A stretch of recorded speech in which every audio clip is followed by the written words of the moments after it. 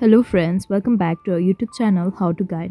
Today in this video, let's learn about how to log in to different Viber accounts in Android. So let's get started. At first, let's get into Play Store app and search for Parallel Space and simply install the app.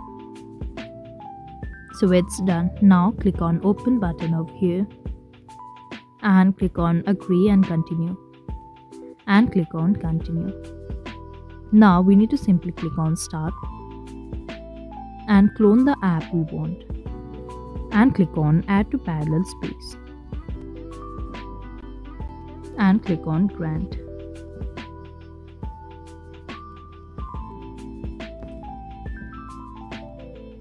Now enter your phone number to the new Viber account.